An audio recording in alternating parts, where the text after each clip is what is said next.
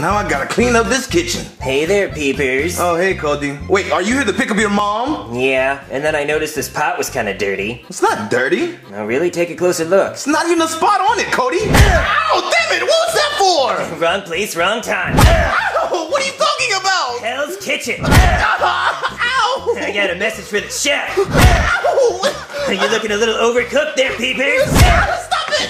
How about I leave a tip? Let's get them clothes off. Eh.